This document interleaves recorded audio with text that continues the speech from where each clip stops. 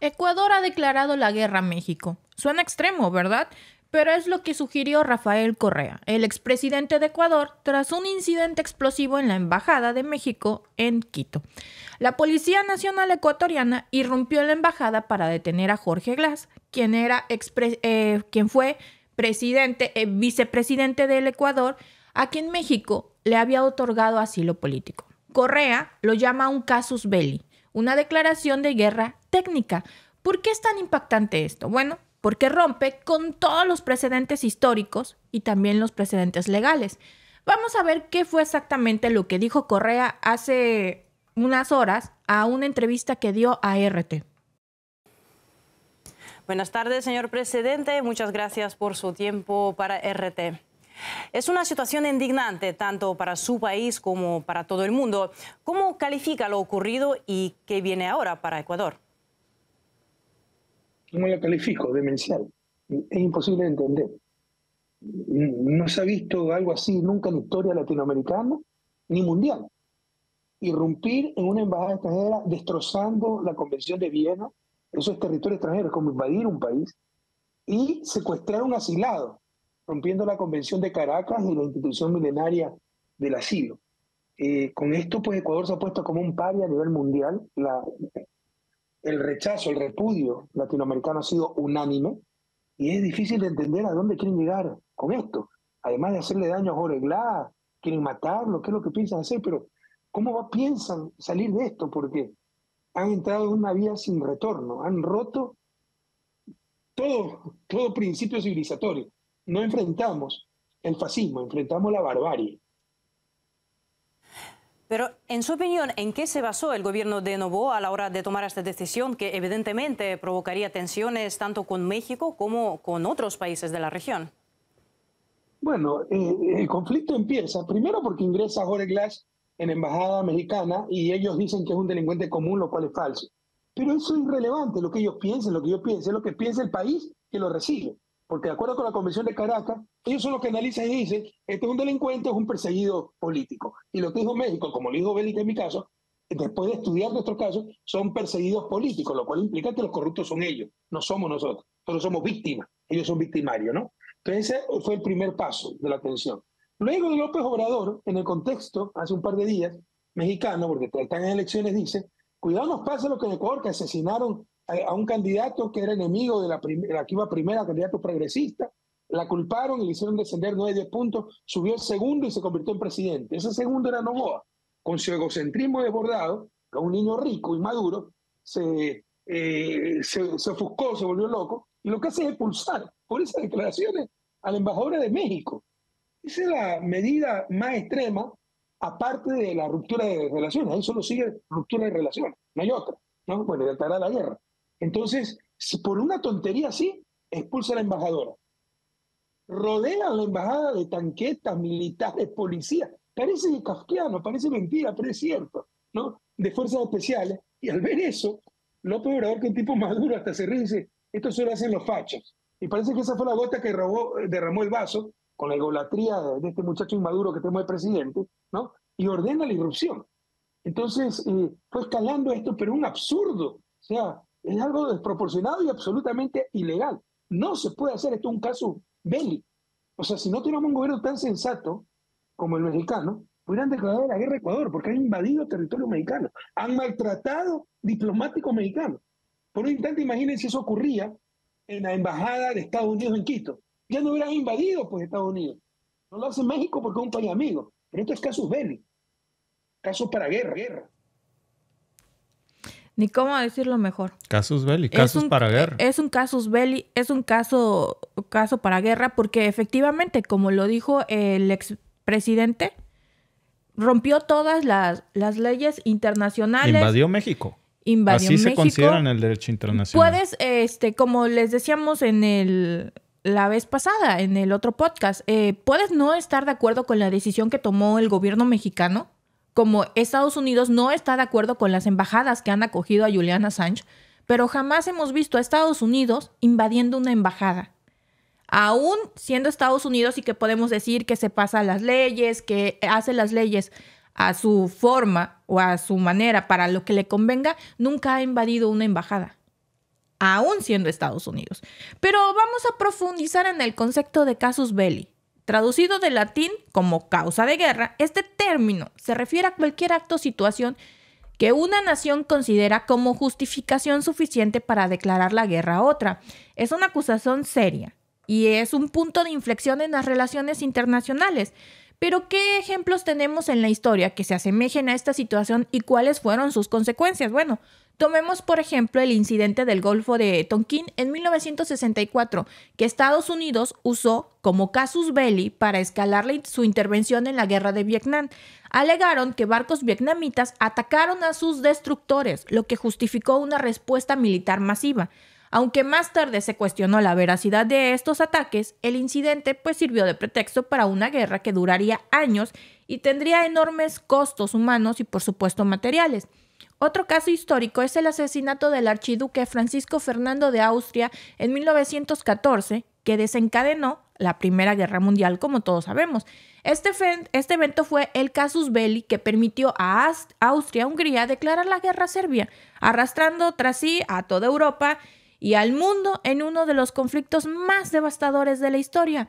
¿Y cómo se relaciona esto con México y Ecuador? Van a decir, bueno, si aplicamos el concepto de casus belli al asalto de la embajada mexicana en Quito, México podría argumentar que se ha cometido una violación de su soberanía. La Convención de Viena establece claramente que las embajadas son inviolables y que el país anfitrión debe proteger las instalaciones diplomáticas, no asaltarlas. Al violar esta norma, Ecuador no solo desafía a México, sino que también pone en tela de juicio los acuerdos internacionales que protegen las relaciones diplomáticas. ¿México estaría en su derecho de declarar la guerra a Ecuador? Desde un punto de vista legal, sí. Si consideramos la acción como una violación de la Convención de Viena y una agresión directa, México podría ver esto como un casus belli. Sin embargo, en la era moderna, la guerra no suele ser la primera opción de respuestas a las disputas internacionales, especialmente cuando hay otros mecanismos de resolución de conflictos a disposición, como las cortes internacionales o la diplomacia. México es reconocido por su enfoque pacifista en su política exterior y ha manejado este incidente con Ecuador con notable moderación y educación. Pero, ¿qué habría pasado si Ecuador hubiera sometido a un acto similar contra potencias como Estados Unidos, Rusia o contra China. La reacción probablemente habría sido completamente diferente. Empecemos por considerar a Estados Unidos. La historia nos muestra que Estados Unidos ha respondido con fuerza militar a lo que ellos perciben como violaciones a su soberanía o ataques a su personal diplomático, lo que pasó con México. Un ejemplo claro fue el ataque del USL Cole en Yemen en el año 2000, que provocó una fuerte respuesta militar estadounidense. Si algo similar ocurriera con una embajada, no sería sorprendente ver una reacción muy rápida y firme y probablemente con una presencia militar amenazando en la región para proteger, por supuesto, sus eh, intereses y ejercer presión. Luego tomemos a Rusia, que ha demostrado en conflictos como el de Crimea y en Siria que está dispuesta a utilizar la fuerza militar para proteger sus intereses y a sus ciudadanos en el extranjero. En un escenario donde su embajada fuera asaltada, podríamos esperar una movilización rápida de sus fuerzas, invadiendo, enviando, claro, por supuesto, un mensaje de que tales acciones no van a ser toleradas. China también ha sido protectora de su soberanía y ha respondido con firmeza a las amenazas contra su integridad territorial y diplomática. La manera en que China maneja las disputas en el Mar del Sur de China, fortaleciendo su presencia militar y respondiendo con dureza a las violaciones de su espacio marítimo, sugiere que un ataque a su embajada sería visto como una provocación grave, lo que podía llevar a una respuesta militar rápida y por supuesto decisiva. La reacción de estas potencias frente a una violación de la Convención de Viena podría ser inmediata y severa, con la posible movilización de tropas y una escalada militar. No solo se trataría de proteger la dignidad y la seguridad de las misiones diplomáticas, sino también de enviar un mensaje al mundo de que tales transgresiones no se tolerarán pero afortunadamente México ha optado por un enfoque más diplomático y legalista, buscando resolver el conflicto a través de canales internacionales y dialogando para asegurar que se respeten las normas y las convenciones internacionales. De este tamaño es la inviolabilidad de las embajadas que se consideran territorio en el Estado extranjero. Para, por eso, invadir una embajada es como invadir el país al que pertenece esa embajada. Por cierto, ¿qué quería decir Correa con que eso de que Ecuador se ha convertido en el paria a nivel mundial? Pues que al violar estas normas internacionales, Ecuador se aísla. Las naciones valoran la estabilidad y la previsibilidad en las relaciones internacionales y este acto las pone a todas en peligro. Lo que ha ocurrido en la Embajada de México en Quito no es un incidente aislado ni un simple altercado diplomático o un berrinche, es un reflejo de las tensiones políticas más profundas, una posible violación del derecho internacional y un precedente muy peligroso en la diplomacia latinoamericana y mundial, lo que estamos viendo, con un presidente que no piensa diplomáticamente. Creo que tiene 37 años, la misma edad que yo. Sumamente. Pero eso no es excusa eh, para. No, no, no. Dice no, Correa. La, tontería. Voy, a, voy a decir algo que. No lo voy a decir como usualmente lo digo. Pero una persona tonta es una persona tonta joven, adulta o anciana. Sí. Y este es tonto. Sí. No tiene inteligencia suficiente para llevar las relaciones internacionales. Y no, no estoy diciendo que esté de acuerdo con la decisión que tomó el gobierno mexicano, pero hay otras vías para hacer el tipo de acciones. Y vuelvo a repetir. Con la decisión que tomó el gobierno ecuatoriano. Exacto. Ve, ni Estados Unidos atreve a hacer esto es, es un junior, Alba. Y dice Correa, el expresidente Rafael Correa, que es un muchacho inmaduro, un junior. Y evidentemente se notan sus acciones, Alba. Claro. Pero vamos a revisar las declaraciones ahorita. Yo no he leído hasta ahora un posicionamiento firme de Washington frente a lo que es una clarísima violación a la diplomacia internacional. Y aquí yo quiero resaltar una cosa, Alba. Em, son tiempos electorales en México. Ahora quiero ver esto desde otra perspectiva porque no está de más mencionarlo. Son tiempos electorales en México. Justo ayer fue el debate presidencial en nuestro país. Hemos visto una serie de bombardeos desde Washington dirigidos hacia la administración actual y hacia una candidata en específico. Lo vimos en ProPublica, lo vimos en el New York Times, lo vimos en posicionamientos de bots en Twitter. Y coincidentemente, ahora en Ecuador sucede esto. A manos de un eh, muchacho, sí, como dice Correa, un junior irresponsable, pero que además, hay que decirlo, el silencio tan extraño de Washington frente a esto y el hecho de que Novoa, el presidente ecuatoriano, sea un ciudadano estadounidense, porque él no nació en Ecuador, nació en Miami, Florida, en el 87, pues nos habla precisamente de algo, Alba, que por decirlo menos, suena extraño. Bastante. Suena extraño. Bastante, bastante extraño. Porque ahora, primero empecemos a ver, o sea, Puede ser algo plantado desde fuera. Y no, no estoy justificando con esto y diciendo eh, que el otro no tiene culpa. Tiene culpa por aceptar las cosas que, que aceptó y por poner en el, en el riesgo que puso a su país y sobre todo en el riesgo que puso a sus ciudadanos. Puede haber repercusiones legales, puede haber repercusiones diplomáticas con otros países, repercusiones comerciales que van a afectar su economía. Y eso yo creo que no lo pensó porque al final del día las decisiones que él está tomando en su silla, sintiéndose el rey del mundo, el más poderoso, van a afectar a los ciudadanos de a pie, a los que no tienen la culpa, a los que probablemente no están de acuerdo con las decisiones que, que este tipo está tomando sin considerar que hay caminos legales, hay caminos y vías internacionales que vuelvo a repetir. ¿Cuántas ganas no le trae Estados Unidos a Juliana Sánchez? y ni siquiera se han atrevido a meterse a la embajada que lo ha acogido para sacarlo. No. Pero Alba, ¿es este un dardo desestabilizador hacia las elecciones de México? Ahí se los dejo de tarea. No lo estoy afirmando, estoy preguntando.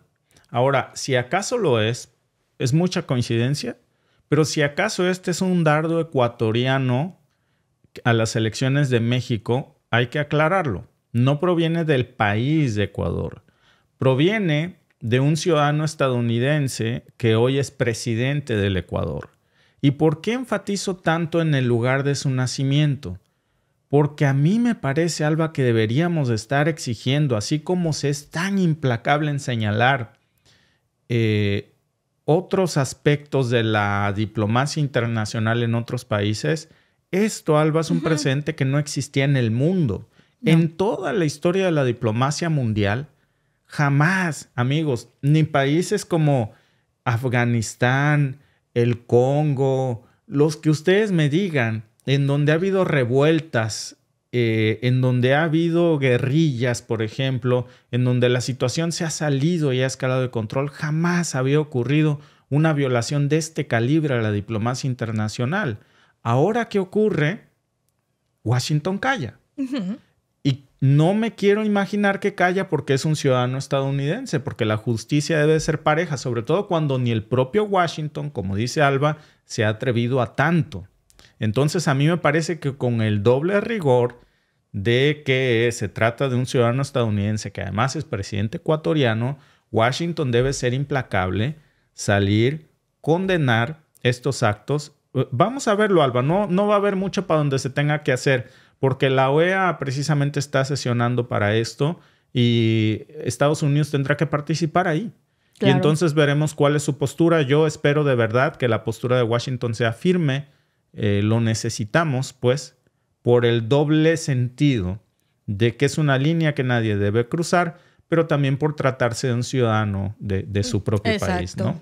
Y que ni el propio Biden lo ha hecho, pues. No, y miren que le encanta la guerra y, es belicoso. Pero hay límites. Hay límites, hay límites. Gracias por vernos. Si te ha gustado este clip, síguenos en vivo para ver nuestro programa completo de lunes a viernes en nuestros canales de YouTube y Facebook. Suscríbete, comparte con tus amigos y déjanos tus comentarios. Te esperamos en vivo.